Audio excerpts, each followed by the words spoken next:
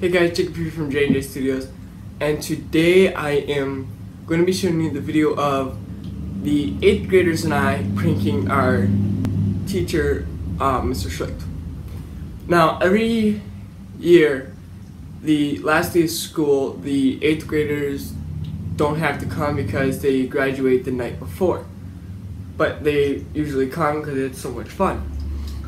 And usually they prank the teachers by throwing water balloons at them but this year I thought we should switch it up. So I suggested that we wrap his bike in saran wrap. Well, I'm just gonna let you see the video because there's no other way to describe how funny it was.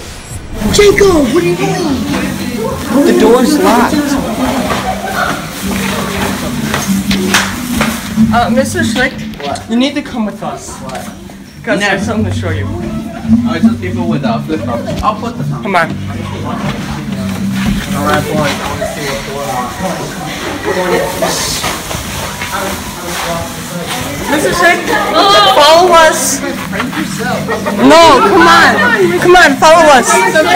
Follow us.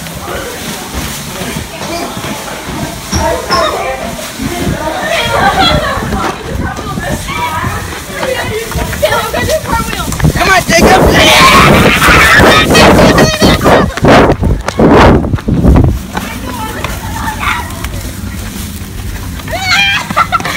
Raymond, come here! No. No, it's it's coming down. How do you cartwheel like this? It's hard. Don't move! Don't move! Mr. Schlicht, if you can do the honors just opening the garage. Oh boy.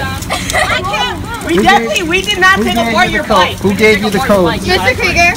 Mr. Like, you might have took apart your wheels. I mean, I might. Yeah, I took apart your wheels. Oh, my purse. Thanks, guys. Why would you guys give us this way? Wait, we're Mr. Like, get your this ran ran. Nice. Mr. Schlicht. That's a ran ran. That is actually going to be hard to get off. It was all my ideas. No, I did. I, I did. everything was fine. He um he had a good laugh. He didn't get mad at us. He's a really cool guy.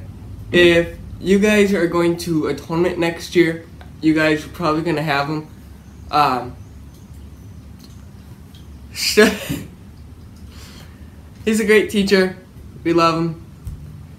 And he just ended up being on the prank list for this year. Here's a photo of his bike and him.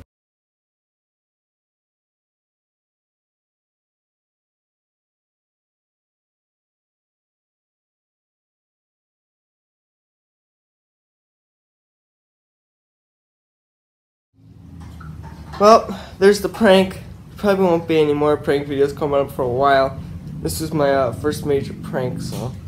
Um, I know Joe and Hector's done some major pranks, but I haven't, so this is kind of new to me. I mean, I've done small pranks, but nothing this big. But, um, shout out to Mr. Schlicht. I'll have a link to his Twitter down below. If you want to follow him on Twitter, that'd be great for his support. Thank you, Mr. Schlicht, for allowing us to put this on YouTube. And thank you for all your knowledge you found us this last year.